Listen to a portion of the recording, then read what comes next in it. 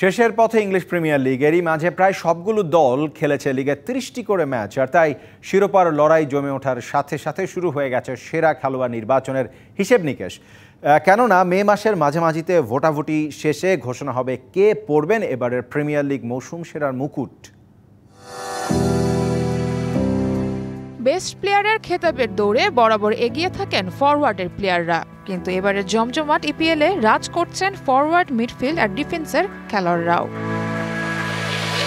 গত মৌসুমে একক রাজত্ব করেছিলেন ম্যান সিটির গোল মেশিন খেতাব পাওয়া আর্লিং হালান্ড। কিন্তু এই মৌসুমে অনেকটাই নিজের ছায়াতলে খেলছেন এই নরওয়েজিয়ান। ইঞ্জুরিতে মাঠের বাইরে ছিলেন প্রায় এক মাস। তারপরও চব্বিশ ম্যাচে আঠারো গোল করে এখন পর্যন্ত লিগের সর্বোচ্চ গোলদাতা হালান্ড। শিরোপার দৌড়ে এগিয়ে থাকা লিভারপুলের তিন খেলোয়াড় আছেন সিজন বেস্টের রেসে। গোল স্কোরিংয়ে হালান্দের পরের অবস্থানে মোহাম্মদ সালাহ।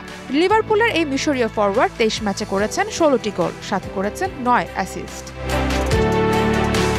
লিস্টে আছেন ডারউইন নুনেজ ও ফন ডাইকো নুনেজের গোল অ্যাসিস্ট দেখে এরই মাঝে সরগরম ফুটবল পাড়া। ম্যাচে বদলি নেমেই দশ গোলের সঙ্গে সাতটি অ্যাসিস্ট আছে এই উরুগুয়ের প্লেয়ারের। আর অলরেডদের রক সলিড ডিফেন্স দিয়ে আলো ছড়াচ্ছেন ডাচ ডিফেন্ডার ফন ডাইক দারুণ মৌসুম পার করছে আর্সেনালও। সব থেকে বেশি গোল দিয়ে আর সবচেয়ে কম গোল হজম করা লায়নদের শক্ত দুই ভিত, ডেকলাইন রাইস আর defender William Saliba.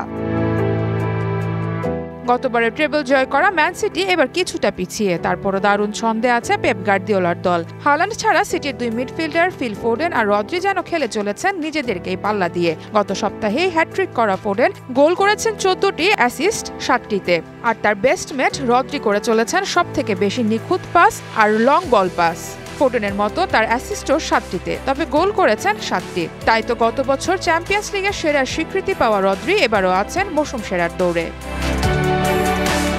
Sara Mahbub DBC news desk